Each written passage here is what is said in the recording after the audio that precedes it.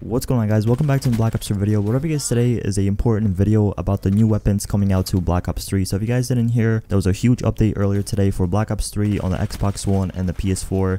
And this update actually released a lot of leaked information about future weapon DLCs that are coming into Black Ops 3. Now a lot of people found out about this by going to the custom games and going to the ban and protect system for competitive. Pretty sure that's how people found out about the butterfly knife and like the wrench and the brass knuckles before. But this time they actually found out more and more stuff. So there was actually a bunch of weapons leaked and a bunch of melee weapons and a bunch of attachments that were leaked coming in the near future in Black Ops 3. Now we're not really too sure when it's coming out because it's not been confirmed. Uh, but there's actually like images and screenshots of every single weapon. I would leave a link in the description below if you guys want to read on it more or check out the images, clear images for yourself. But anyways, I'm going to go over a few of the weapons that are coming out for Black Ops 3. So the first one is the M2 Raider. The M2 Raider is pretty much like a MK14 back from World at War and back from Black Ops 1. It has like 7 bullets only and it's a two-shot kill weapon which is really good. It's like the Sheiva, but it is like an old school World at War weapon. Now the next weapon is a pistol and this is actually called a Marshal 16 pistol. This pistol is like a revolver shotgun mix. It does only contain two bullets in a magazine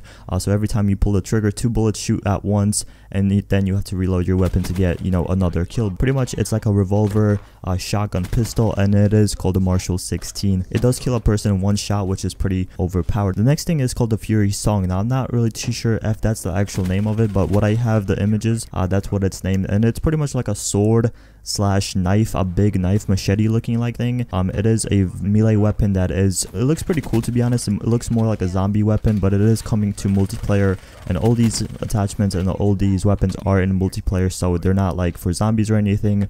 Uh, these are actually multiplayer but the fury song looks really really cool. It's like a big ass blade that you can just run around and you know kill people with. It looks really really sick. Now the final weapon i do have a screenshot of it's called the Iron Jim and this is like a crowbar and it is really really simple and just basic but it looks pretty cool because i mean who doesn't want to run around in black ops 3 with a crowbar and hitting people in the head and killing them which is really cool. Um it does look like a red like old texture to it and it looks really nice. There was a bunch of different stuff also that was discovered but i do not have like clear screenshots of it so i don't really want to talk about them if i don't have like screenshots of them yet but to be honest like i said i will leave a link in the description below if you guys want to check them out. And the way to only get these weapons is from supply drops like rare supply drops or common supply drops so it does kind of suck because you know i've been very unlucky getting the butterfly knife the wrench or whatever from supply drops. To this day i still don't have them but this is the only way you can get these weapons. It is from rare supply drops and common supply drops. So it kind of sucks but i mean it's really fun. I'm looking forward to buying some COD points and opening some drops for you guys in the future when they actually come out. But thank you guys so much for watching. Be sure to leave a like subscribe if you're new. I'll see you guys in the next one. Peace.